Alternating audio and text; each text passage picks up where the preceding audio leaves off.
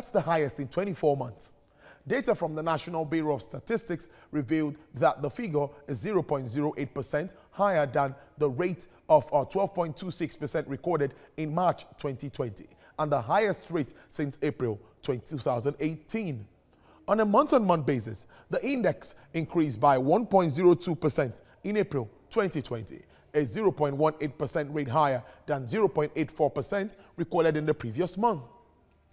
The composite uh, food index increased by 15.03% in April 2020, 0.03 percentage points compared to 14.93% recorded in March 2020. According to the report, the rise in the food index was caused by increases in prices of potatoes, yam and other tubers, fish, oil and fats, meat, fruits, bread and cereals, and of course, vegetables. Let's turn to our business performance manager, VFD Group, Olukule Salami. He joins us via Skype from Lagos Island for more on this discussion. Let's start with this, uh, uh, Mr. Salami. Inflation is out, and all parameters seems to be on the high side. Uh, what, how does this come to you? Were you expecting this? Um, thank you um, for having me on the show today. Um, it's not surprising what we have going on in terms of the inflation. And like you um, earlier mentioned, the major index for the inflation that's been pushing this up is um, on the food prices.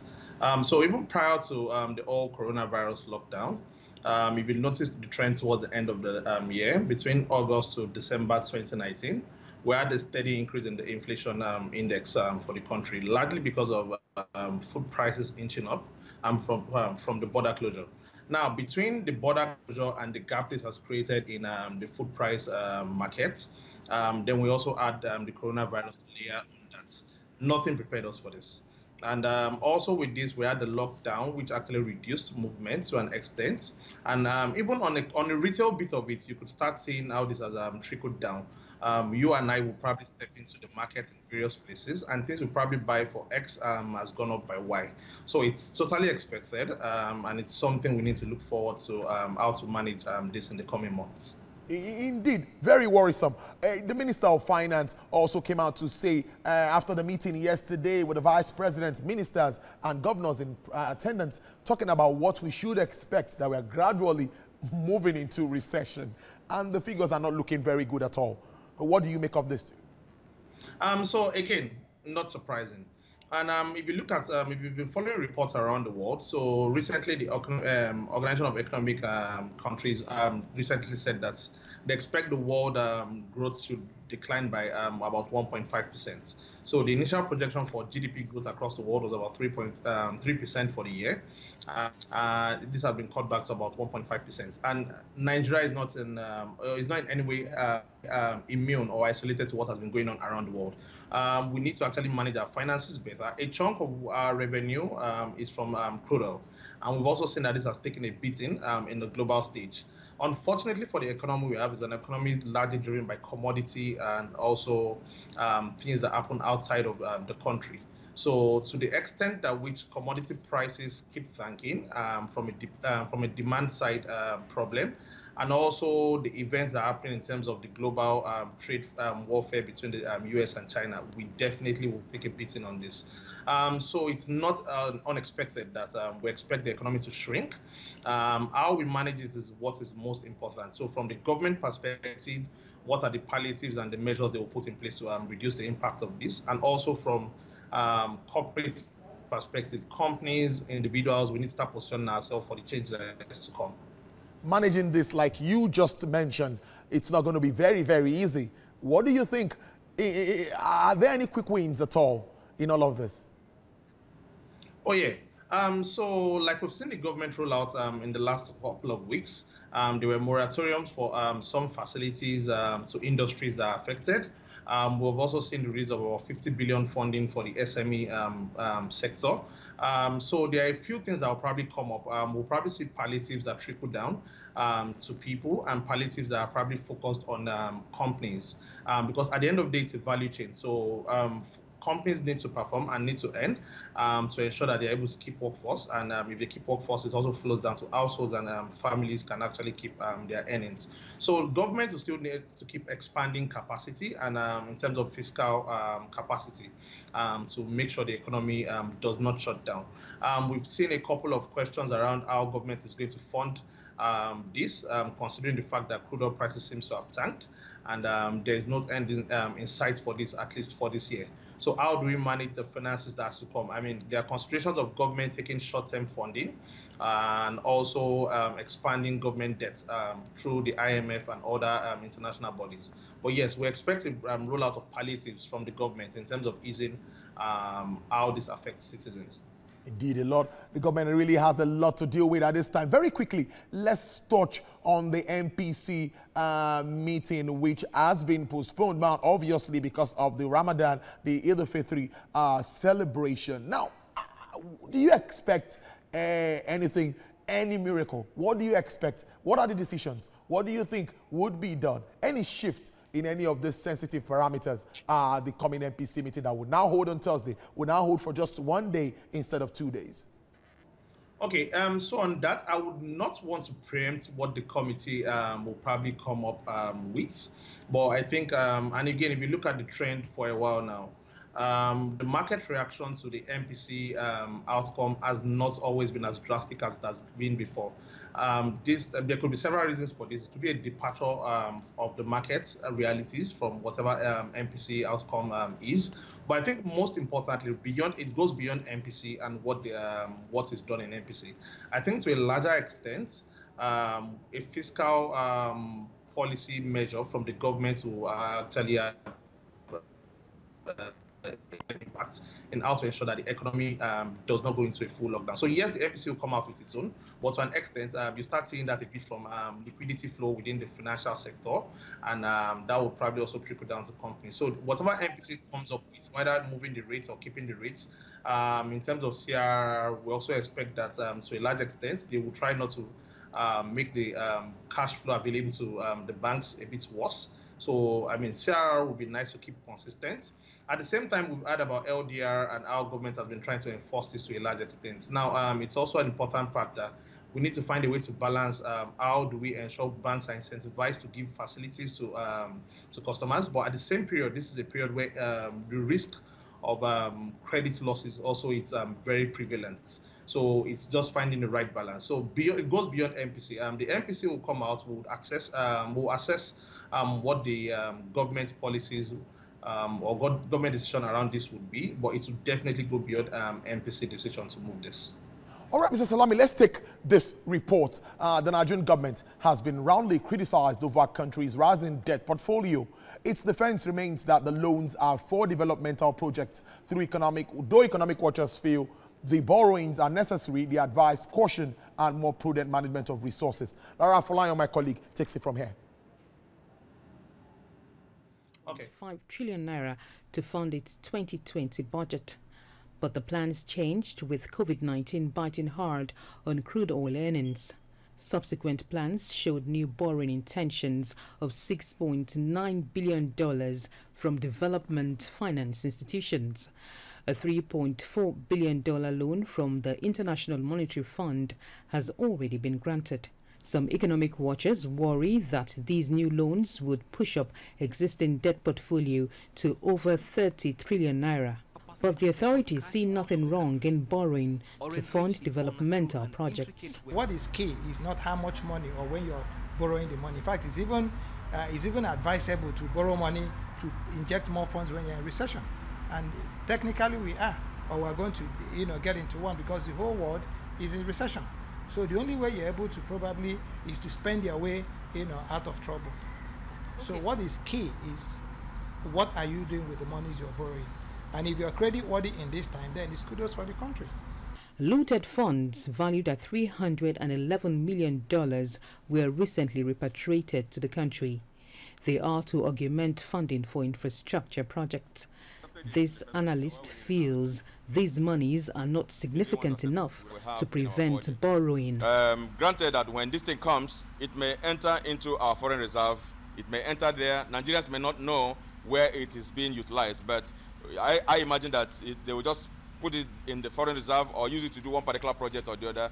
Um, many times, it may not be known to all Nigerians what the money is used for, but as far as I'm concerned, it cannot fill the gap of the deficit. The Debt Management Office is concerned impact of COVID-19 may affect the country's ability to service its debt well. Suggested ways the country could cut down on loans now include controlled spending and new strategies of fighting corruption. What you need to do is to make certain that whatever debts you're injecting, whatever capital you're injecting, is uh, generating revenue and is creating jobs. Okay? The moment you put your money into what can create jobs, and there's a lot that can create jobs in this season. Okay, we actually have uh, uh, an opportunity of creating jobs if we do the right things, if we're able to put in the money into the right places. We need to look at our expenditure area and reduce cost of governance. Cost of governance from executive, cost of governance from legislature, cost of go governance from um, even the lower uh, levels of government. Nigeria's revenue generation has been badly hit by the coronavirus pandemic. And one of the ways the authorities are trying to mitigate the impact of this on the economy is through borrowing.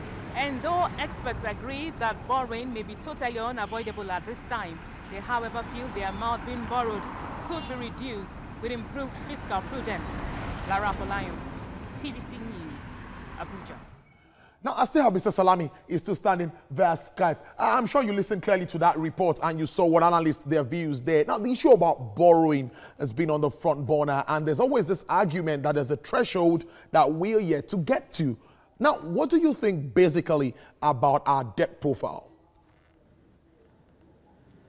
Okay, um, so for the debt profile, um, there's also, um, like you said, there's the threshold. So typically you're looking at something under 60 um, percent of um, debt to GDP um, ratio, which has always been the argument of the finance ministers over the years that, oh, we're still well under that ratio. When in reality, it goes beyond debt to GDP ratio the cost of servicing this debt um, relative to the revenue um, earned by the government is probably as important um, as the debt to GDP, GDP, um, ratio. Now, as at last year, we had about 56% um, loan servicing vis-a-vis revenue. So it means for every 100 um, naira that is generated by the Nigerian government, 56 naira of it was used to service debts. Now, the question, next question is, if we do um, add additional debt um, as it is, um, which looks inevitable, how do we want to service this debt? Considering the fact that debt is going to go up and revenue would also shrink. So yeah, um, it's the right balance we need to look for. It's rather sad also that on the on, on the end right now, um, a lot of the debts that will probably incur in the next um, couple of months uh, would likely not uh, be to revenue generating activities which has also been the concern of some of the analysts um, you mentioned there. So if we take debt, let it go into infrastructure or into activities that will plow back um, revenues to the government. Unfortunately, these are dire times, so we need to actually um, take a bit of debt. We need to expand ICU capacity, laboratories, testing, information management to all, uh, manage the whole COVID-19 um, um, pandemic. So um, the question for government is how two things is prudent, uh, being prudent with um, the spending and also being accountable. So accountability is something that needs to come on board. But for um, our debt ratio, um, our debt profile, um, not particularly worrying. I think what is more worrying is the revenue um, earnings of the government. So if we can diversify revenue uh, and we're able to service debt or plow back debt into activities that will generate revenue, then yes, we can make it work. Before I let you go, what role does technology play in all of this, in helping us get out of all of these challenges? We've started with issues around expecting to get into recession, issues around the economy, issues around debt. Now, many say technology can play a role in helping us address some of these challenges. Yeah, so um, for me, and um, from the perspective where I sit, there are two critical things um, that would actually help people um, in these times. It's innovation and it's technology. And um, while innovation can include technology, um, it's not limited to technology. So let me just quickly discuss around technology. So around the world, we've seen um, many firsts. So first um, parliament meeting via Skype, via Zoom, via different medium that has been going on. These are things that erstwhile would have been unprecedented or probably people would have thought, oh, not possible. Also, and it's rather sad because it has, cost, um, come at like significant human costs. Um, so I was discussing with someone recently and said that um, finally, we needed a pandemic was what forced um, the world to innovate and to become a bit more technology um, aware. Um, so the world is generally evolving. So technology now is going to be at the forefront of a lot of things. So and this pandemic has demystified the fact that you need to be in physical presence to work or to conduct activities. And I can break it down. Um, so bringing it back to the field in which um, I am currently operating. Um, so let me take um, financial services um, in the country today. So a lot of banks will probably be forced to innovate, and an emphasis on the word forced because this has come. And um, the banks are typically been set up in a structure of brick and mortar. People need to come into buildings. People need to uh, physically be present to actually have everything going on. Now, it's a forced cycle. However, I will take a position that v, um, VFD have uh, has taken, which is where I work. We were prepared for this. And not because we're expecting a pandemic would come, but we had actually envisaged that, you know what, the future of banking goes beyond brick and mortar. So we decided to come up with a fully digitized banking offering. And we said, you know what, instead of opening the um, branches, odd branches here and there around the country and layering it with um, staff um, costs, assets, and um, all the other costs, some costs involved in setting up locations, we would run a digital offering, which is everyone can have access to a banking account without leaving the convenience of your home. So I mean, and again, um, rolling it back, we had been uh, we started working from home like a week before the government's official um, lockdown. We were able to do this because we were prepared for this also. Again, there's a proper mm. business um, management um, process in place that ensures that even if physical locations are not accessible, we can continue to work. So we have systems, um, we have processes set up that ensures that we can service our customers and we can provide um, unlimited service um, to people. And we can also even bring up issue resolution and close out um, key transactions from the comfort of our um, homes. Indeed, very interesting, well thought out plan there. Business uh, performance manager, uh, VFD Group. Thank you very much, Olukule Salami. Thank you for your time on the show today. Hope to have you again subsequently. Thank you.